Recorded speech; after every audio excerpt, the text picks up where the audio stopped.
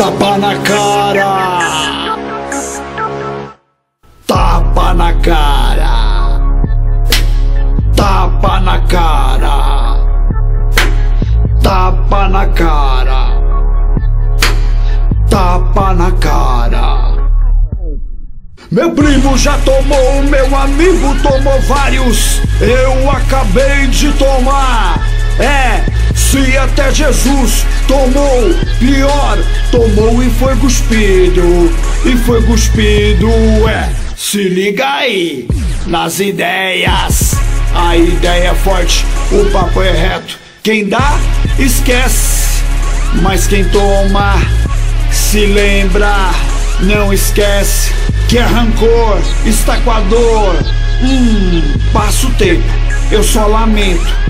Se até Jesus cobrou, quem sou eu para não cobrar? Mas aí, como Jesus eu sigo, eu quero carinho, eu quero paz, eu quero paz, eu quero amor. Sim, carinho dos meus filhos, da minha esposa. Paz com os amigos e os inimigos. Mas aí, se até Jesus cobrou, quem sou eu para não cobrar? Hã? Eu até poderia.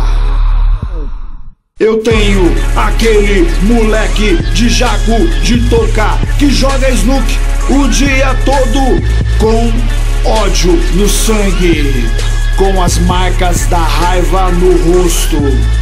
Faria o serviço por cinco reais. Já era, tapa na cara nunca mais.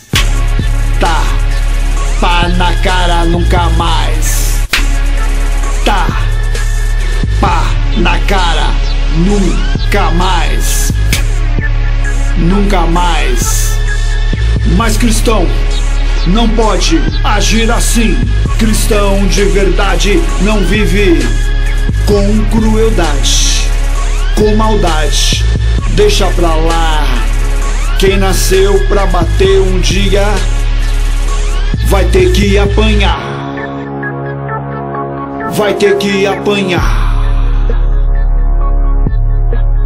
Pode demorar, mas Deus não esquece de um filho seu e vai cobrar e vai cobrar. Vixe, ainda bem que não sou eu. Valente, infelizmente, nem imagina que algum dia vai encontrar alguém muito louco preparado pra atirar com várias no pente, com várias no bolso. Tapa na cara.